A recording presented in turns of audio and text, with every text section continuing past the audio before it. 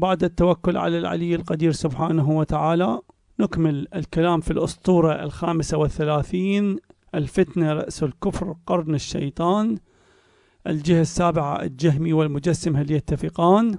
وكان الكلام في أمور ووصلنا إلى الأمر الخامس أبن العلقمي الشيعي وأبناء العلاقم التيمية. وكان الكلام تحت هذا الأمر في موارد. وصلنا إلى المورد الرابع عشر. أقول التلازم الحتمي بين التدليس وسوء الخلق موجود وأكيد. وكل ذلك ملازم لمنهج التكفير وأئمة المارقة. ولا أعرف كيف لعاقل منصف التصديق بأكاذيب وافتراءات على شخص صدرت من خصمه وعدوه اللدود الحاسد له الحاقد عليه المكفر له المبيح لدمه وعرضه وماله. والفاقد للمصداقية والأخلاق الإسلامية المحمدية صلى الله على محمد وآل محمد. ونكتفي بمورد واحد.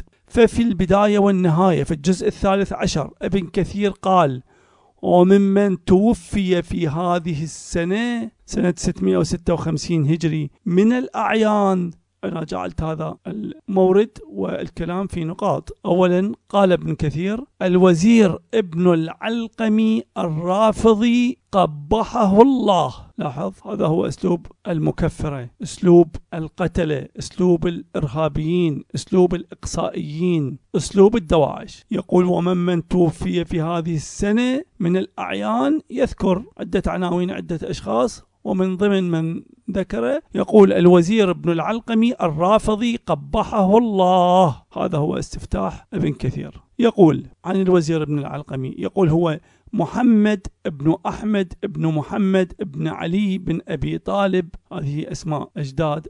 الوزير مؤيد الدين أو مؤيد الدين أبو طالب ابن العلقمي وزير المستعصم البغدادي أي الخليفة البغدادي. وخدم في زمان المستنصر أو وخدمت في زمان المستنصر أستاذ دار الخلافة مدة طويلة. ثم صار وزير المستعصم. إذا في زمان المستنصر العباسي كان أستاذ دار الخلافة مدة طويلة. بعد هذا في زمن الخليفة بعد المستنصر وهو المستعصم صار وزيرا يكمل ابن كثير يقول وزير سوء على نفسه وعلى الخليفة وعلى المسلمين مع أنه من الفضلاء في الإنشاء والأدب. أخلاق عالية تأخذون من التيمية وأئمة التيمية. يقول وكان رافضيا خبيثا رديء الطوية على الإسلام وأهله. وقد حصل له من التعظيم والوجاهة في أيام المستعصم ما لم يحصل لغيره من الوزراء. ثم مالأ على الإسلام وأهله الكفار هولاكو خان. حتى فعل ما فعل بالإسلام وأهله مما تقدم ذكره. ثم حصل له بعد ذلك من الإهانة والذل على أيدي التتار الذين مالأهم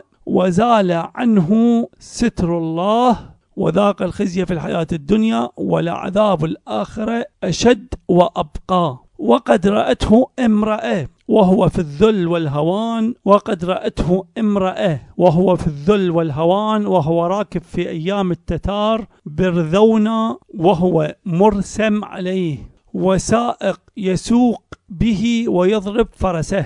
فوقفت إلى جانبه وقالت له يا ابن العلقمي هكذا كان بنو العباس يعاملونك فوقعت كلمتها في قلبه وانقطع في داره إلى أن مات كمدا وغبينة وضيقا وضيقا وقلة وذلة في مستهل جماد الآخرة من هذه السنة سنة 656 هجري وله من العمر 63 سنة ودفن في قبور الروافض. إذا رأته امرأة وهو راكب البرذون أي راكب الدابة الدابة من الخيول أو من البغال غير العربية أي من فصيلة الخيليات غير العربية أو هي يقال هي دابة من الخيول من الخيليات تكون أو يكون البرذون ضخم الجثة غليظ الأعضاء قوي الأرجل له حوافر عظيمة يتخذ للحمل خاصة.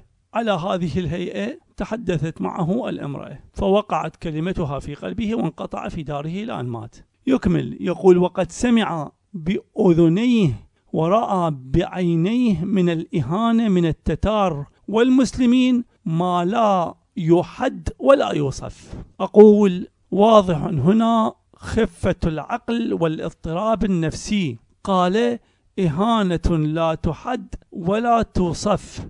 فأين هذه الإهانة التي لا تحد ولا توصف؟ التدليس والإفلاس ظاهر من خلال إتيانه بقصة التدليس والإفلاس ظاهر من خلال إتيانه بقصة من قصص العجائز جداتنا رحمهن الله والتي لا إثبات لها ولا أساس إلا في مخيلته الأسطورية. إضافة لذلك فإنه لم يذكر لنا إلا حكاية أو سالفة العجائز. هذه كما يقال سالفة عجائز.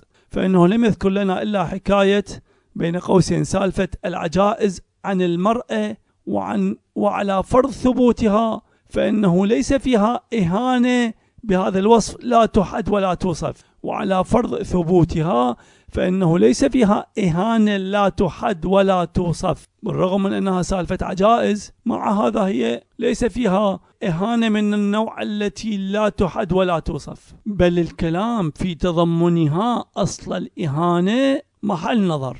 بل الكلام في تضمنها أصل الإهانة محل نظر من حيث أن البرذون الخيل أو البغل غير العربي المستخدم للحمل فقط وهو بمثابة السيارة العادية أو القديمة أو عربة الحمل في مقابل السيارات الحديثة الفارهة المدرعة كالجكسارات أو ما يسمى بهذا الاسم أو بأسماء أخرى لا نعرف موديلات السيارات الحديثة. في مقابل السيارات الحديثة الفارهة المدرعة كالجكسارات في هذا الزمان فبكل تأكيد سيسيل سيسيل لعاب المغول للجكسارات والسيارات المصفحة ورباعية الدفع فتكون أول ما يسرق ويسلب وينهب. وبعدها يأتي دور سرقة البراذين والحمير وباقي الدواب. والمغول قد أفسدوا في بغداد كل فساد وجعلوا كل أهلها أذلة حتى ابن العلقمي. فقد دفع كل أمواله كما فعل التجار. من أجل البقاء على حياته وعياله. فصار مفلسا مفلسا. ليس له القدرة على شراء جكسارات ذاك الزمان. ولو حصل على واحدة فستكون هدفا لقادة المغول. فسرعان ما تؤخذ منه صاغرا ذليلا مغلوبا. فهو وزير مفلس مفلس لا سلطة له مع سلطة المحتلين العسكرية. وحالة الحرب والطوارئ القصوى المعلنة. ولا ننسى المقارنة بين ما فعله ابن العلقمي وباقي الرموز من تجار ورجال دين وذوي مناصب في دولة العباسيين وبين موقف الخليفة فضلا عن غيره وهو ذليل يتوسل المغول وقد دفع لهم الكنوز التي لا تحصى ولا توصف من أجل البقاء لكنه لم يجدي له شيئا.